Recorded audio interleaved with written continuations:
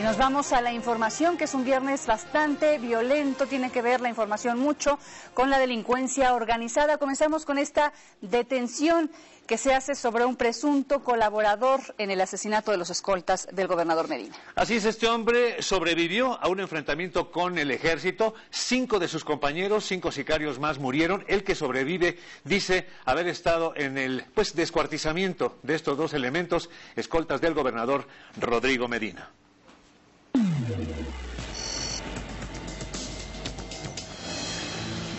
La Procuraduría de Nuevo León presentó a Jesús Eduardo Cárcamo Rocha, alias La Mija, presunto asesino de los guardias del gobernador del estado, Rodrigo Medina.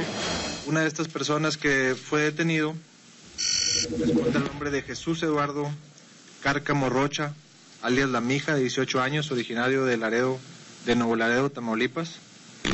Eh, esta persona ya fue entrevistado y ya rindió declaración ante el Ministerio Público y manifiesta eh, haber participado con las personas que privaron de la libertad y posteriormente de la vida a los elementos de seguridad del Estado de Nuevo León.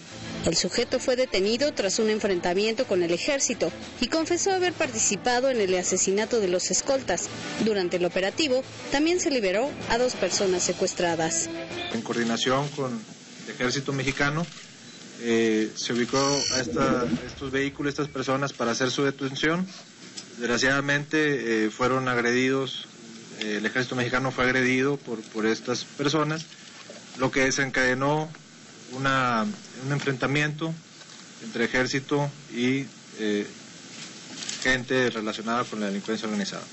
Esto dio como resultado la muerte de cinco personas en el municipio de Pesquería, Nuevo León, y la detención de dos personas y la liberación de, de dos personas también. TVCN, Ligia Orozco.